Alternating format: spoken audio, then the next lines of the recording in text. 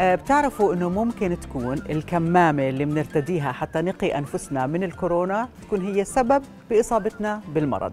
معلومات كثير مهمة رح نعرفها هلأ مع دكتور خالد عبد الرحيم أخصائي الكيمياء الحيوية. صباح الخير دكتور أهلاً خالد. أهلاً كيف حالك؟ الحمد لله. يعني مش معقول ما تصدق قد إيه أنا متحمسة لهي الفقرة. أول شيء أعطيتني أكمل معلومة هيك انصعقت. كيف ممكن الكمامة اللي نحن بنلبسها تكون هي مصدر العدوى هي اللي سبب المرض؟ أكيد. آه، بالواقع الكمامة عبارة عن مصيدة. آه، الكمامة عبارة عن فلتر آه، وظيفته ما يدخل هالفيروسات والبكتيريا عن طريق فلترتها وإبقائها على السطح. للأسف الفيروس اليوم في له فترة حياة إذا وقع على أي سطح ما بيموت بضله الفيروس عايش لعدة ساعات حسب السطح اللي وقع عليه آه، نحن كثير عم نستهين في موضوع الكمامة مم. وبنحملها وبندخلها على بيتنا وبياخذوها الأطفال بيلعبوا فيها أو بيستعملها أكثر من شخص آه، قضية استعمال الكمامة المتعددة الاستعمال صراحة مم. اللي هي تصبح شيء خطير جدا إذا لم يتم العناية فيها بطريقة صحيحة مم. العناية فيها بطريقة صحيحة عن طريق تعقيمها مم. يعني بعد ما ينتهي الشخص من استعمال الكمامة خلال النهار أوكي. آه، دخلها على بيته لابد من تعقيمها حتى عندما يشلح الكمامة آه، لازم يشلحها بالطريقة الصحيحة يوضعها في مكان معين يستعمل عليها مادة تعقيم اليوم موجود في مواد معقمة ممكن إنه نرشها على الكمامة. ضمننا بهالحالة هاي إنه قتلنا هالفيروسات اللي صارت موجودة على سطحها إذا كانت عايشة. طبعا. الاستعمال الخاطئ صراحة آه، كتير كتير كيف ممكن يكون؟ خلينا نشوف هدول مثلا disposable يعني for the disposable صراحة آه، تستغربي إنه الكمامه ال disposable آه، عم تصبح عندنا هون بالأردن آه، متعددة الاستعمال أيوة. يعني ممكن تلاقي ناس بيستعملوها لمدة أسبوعين ثلاثة أو شهر. وموجودة بالسيارة ممكن يستعملها أي شخص آه للأسف ممكن يلبسوها اليوم على السطح هذا وتلم هالفيروسات ثاني يوم يلبسوها على السطح العكسي وتنقل هالفيروسات والبكتيريا والأوساخ اللي, اللي لمتها من الشارع. فيعني الاستهانة في موضوع الكمامة صراحة آه، شيء كثير صعب. طيب هلا قلنا لازم لما نخلص من نهارنا نرش سبيرتو بزبط سبيرتو بزبط آه أو هذا معقم في في خاص للكمامات. خاصة بتيجي للكمامات. بس نرش تكون موجودة معها ونتركها. بالضبط. okay. بتكون شو كمان استعمالات؟ وما نلبسها كل يوم على وجه. وما نلبسها كل يوم على وجه وما نلبسها عدة آه. مرات. يعني الكمامه ال disposable آه، انوجدت حتى تستعمل مرة واحدة ويتم إلقائها. حلو. طيب هلا أعطينا كيف مركبة من إيش مصنوعه الأفضل كمامة لازم تكون هلا صراحة الكمامات اللي تصنع واللي هي متعددة الاستعمال هي عبارة عن عدة طبقات. الطبقة الخارجية بتكون نوع معين من ال fabric اللي له gas permeability خاصية آه. بإدخال الغازات بنسبة معينة okay. وبقطر معين يعني مش أي آه. نوع قماش نحن ممكن إنه نستعمله. هون النقطة اللي عم نحكي فيها. النقطة الثانية إنه في طبقة آه، مصنوعة من مادة ال polypropylene ال homopolymer واسمها meltblown. هاي المادة هي الأساس في الكمامة صراحة اللي هي بتمنع دخول الفيروسات والبكتيريا والملوثات. وهاي المادة يعني الحمد لله اليوم صارت متوفرة في في عز أزمة الكورونا آه كانت مادة صعب جدا الحصول عليها. أوكي. ولدرجة أنه ارتفعت أسعارها عالميا من 6 دولار للكيلو وصلت 72 دولار. أوف. وصار الحصول عليها 12 ضعف والحصول عليها كان صعب جدا.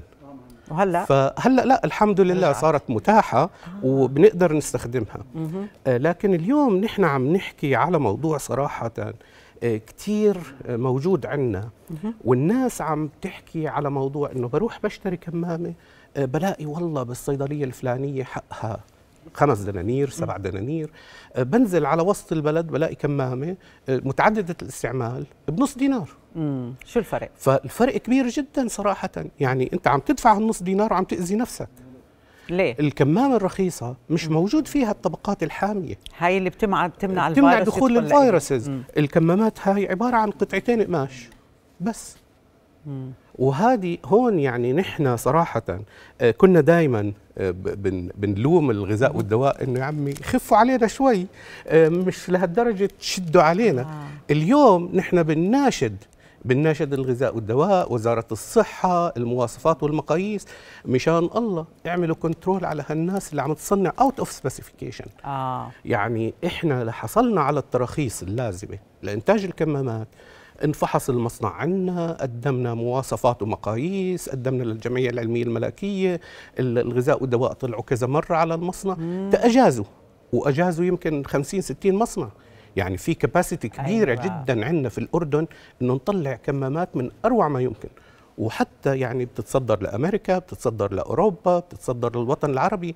شيء على أعلى المواصفات. برافو إذا حضرتك عم يعني بتقترح إنه لازم يكون في معايير خاصة أكيد. لأي شخص بده يخيط كمامة. يعني يمكن الكمامة تكون هي مصدر الأذى. أكيد. إذا بدها تدخل الفيروس بدون وجود يعني هاي الماده عم تعطينا فولس security أيوة, أيوة يعني اللي بيحط حماية حماية الخاطئة. حماية خاطئة جدا. حماية مؤذية. حاطط كمامة. بس شو الكمامة اللي أنت حاططها؟ يعني لازم نحن كأشخاص نكون حريصين إنه عندما بدنا نشتري كمامة ما يغرنا والله اي والله منظرها حلو. آه. لا مزبوط. إنه أنا بهمني أنا حاطط طب أنا كيف بدي أعرف منظر. لما أشتري كمامة كيف بدي أعرف إنه فيها هاي الطبقة اللي هي بتمنع دخول الفيروس؟ والله شوفي يعني هي كمستهلك عادي صعب جدا. صعب. إذا ما فتحها وشاف صعب جدا. بس نحن بنقول إنه الدور على الجهات الرقابية إنه تمنع وجود مثل هاي الأشياء في السوق عندنا. طب هلأ هاي شو بتعمل؟ الفلتر صراحة هو في أنواع فلاتر؟ لا هو فلتر هو مش فلتر صراحة. مش فلتر. هو عبارة عن valve آه صمام. طيب. الصمام وظيفته آه مرور الهواء في اتجاه واحد. مم. فحسب يوضع هذا الفلتر اللي هو عبارة عن طبقتين من البلاستيك مع قطعة okay. سيليكون آه وظيفته الأساسية أنه يسهل خروج الهواء تبع الزفير.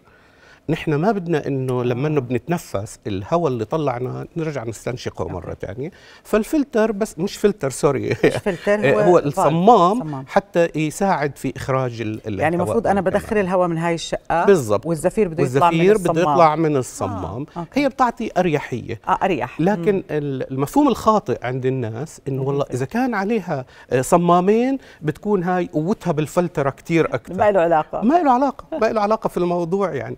إحنا أنا كثير صراحة آه، شاكر للرؤيه إنه أتاحت نوصل هالمعلومة هذا شيء كثير بهمنا آه، طبعا. لأنه كثير الناس استهانت في موضوع مم. الكمامة.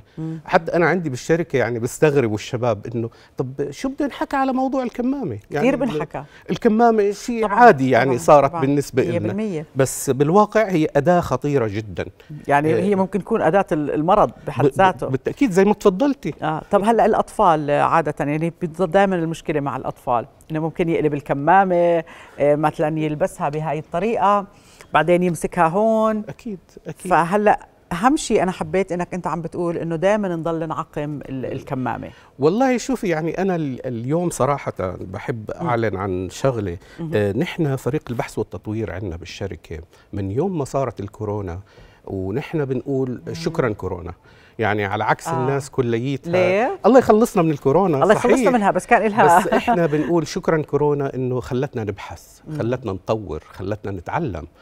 آه، اليوم آه، نحن عم نعمل اتفاقيات مع شركات في أمريكا وعم بنطور آه، نوع من الكمامة اللي هي نفس الكمامة antiviral يعني لو وقع عليها أي فيروس الكمامة بحد ذاتها كفيلة بالقضاء على هذا الفيروس. من خلال؟ من خلال آه، شحنات كهربائية موجودة على سطح الكمامة. material معين بتنرش على القماش بتضلها موجودة بشكل مستمر.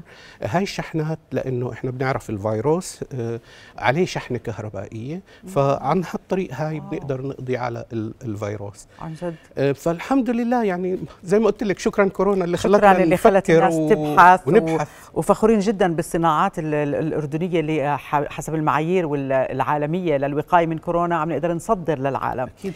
شكرا لوجودك شكرا معنا. يا ستي شكرا دكتور شكرا دكتور خالد عبد الرحيم. معلومات قيمة جدا أعطانا إياها دكتور خالد عبد الرحيم أخصائي الكيمياء الحيوية. هو عالم بالتحديد كمان نقدر نقول. شكرا.